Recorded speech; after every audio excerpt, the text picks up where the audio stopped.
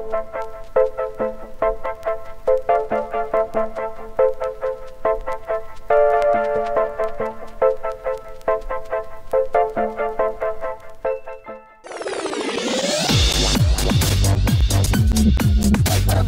everyone, this is Dave from Geekanoids and I wanted to bring you a quick video update on the Galaxy Nexus mobile phone and in this video I'm going to be just talking to you a little bit about the battery life.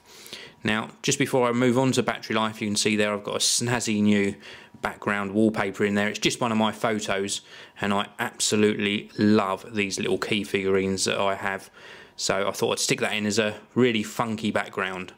So let's move on to battery life. Now you can check your battery life at any time by pulling down the status bar, popping into settings and then going on to battery.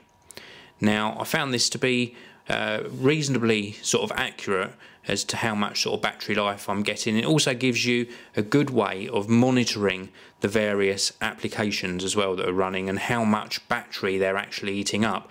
This is great because if you get an application that is using a massive percentage of your battery then you can deal with it quite easily by killing off that application every now and again and that should help extend your battery life a great deal.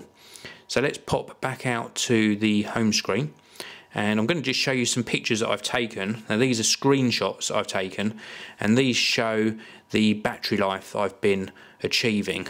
So let me just get these in the right order. Here we go. So I took them at varying um, uh, varying stages as well, just to show you how things progressed. And I was quite lucky that I got all these screenshots. It's quite a good good way of just uh, letting you know the battery life.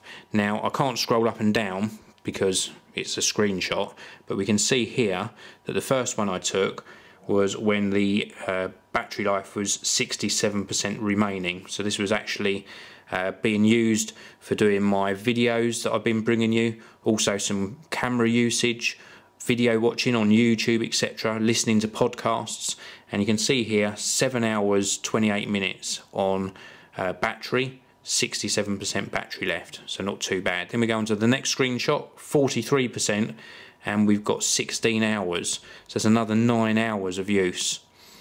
And then next one, 32% discharging, 20 hours 38 minutes, and then 14% discharging, and we've got one day, 1 hour 42 minutes, and then 11%, one day, 3 hours 57 minutes, and then 7%, oh, 7% one day, six hours, and then this was the last one that I managed to capture before the phone actually turned off.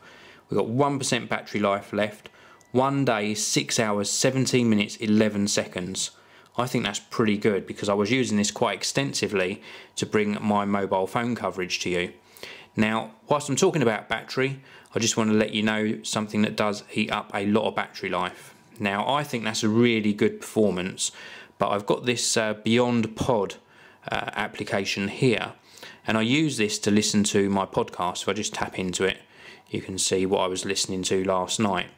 And I found that playing back audio, even with the screen turned off, eats battery life. I'm having to charge a lot more frequently. Now I've started using this for listening to my podcasts because I no longer have my iPhone 4S to do that. So this is now my sort of media consumption device as well.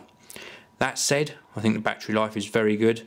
Uh, extremely pleased with it. I've got this little uh, HD weather widget here as well and that shows I'm on 48% battery life. It gives a little percentage just above the 01 on the time there. It's just changed to 02 so we're on 48%.